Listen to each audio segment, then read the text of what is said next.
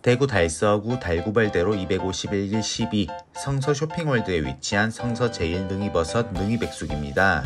영업시간은 오전 10시 30분부터 저녁 9시 30분 2시부터 3시 50분은 브레이크 타임입니다.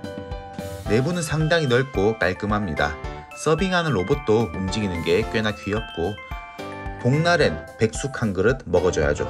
특히 버섯 중 최고라는 능이버섯이 들어간 능이백숙은 더운 여름에 지친 체력 보강에 정말 최고입니다. 닭백숙 한 마리 65,000원. 요즘 물가 생각하면 가격선 뭐 적당하고 능이회 소자 32,000원 같이 주문해 봅니다. 능이 백숙 국물도 아주 훌륭하지만 능이 데친 물은 신의 물이라 할 정도로 귀한 향과 맛이 납니다. 닭고기는 질기지 않고 잡내가 없어서 먹기 좋았고 전복도 같이 먹으니 정말 고급지네요.